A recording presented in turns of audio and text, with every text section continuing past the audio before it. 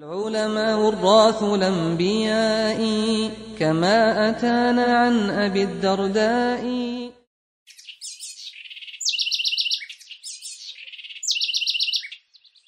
فتغطية المرأة وجهها هي عند قوم اليوم شذوذ عن النسق البشري وثوب أجنبي عن الإسلام فرضته مرحلة زمانية وتم فيه لي نصوص الأدلة لأجل قهر المرأة.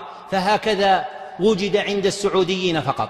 أولم يسمع هؤلاء أن رجلا يقال له أبو حامد الغزالي. توفي سنة خمس وخمسمائة وكان عراقيا أنه قال لم يزل الرجال على ممر الزمان. مكشوفي الوجوه والنساء يخرجن منتقبات وأن رجلا أندلسيا من البلاد التي سطعت منها شمس الحضارة على أوروبا هو أبو حيان الأندلسي المتوفى سنة خمس وأربعين وسبعمائة. ذكر أن المرأة في بلاد الأندلس لم يكن يظهر منها إلا عينها الواحدة وأن ثالثا يمانيا هو محمد بن علي الموزعي المتوفى سنة خمس وعشرين وثمانمائة.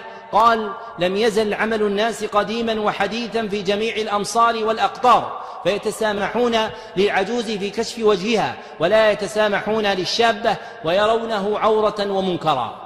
وبعدهم قال رابع من بلاد مصر هو ابن حجر العسقلاني المتوفى سنة اثنتين وخمسين وثمانمائة ولم تزل عادة النساء قديما وحديثا يسترن وجوههن عند الأجانب.